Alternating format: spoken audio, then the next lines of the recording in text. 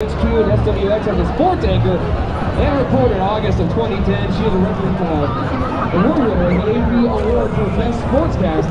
Sam Adams, engineer, is KHQ's senior sports anchor.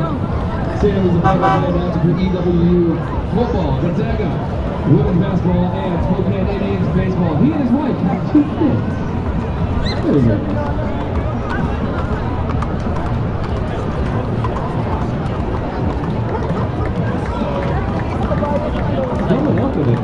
Corvette.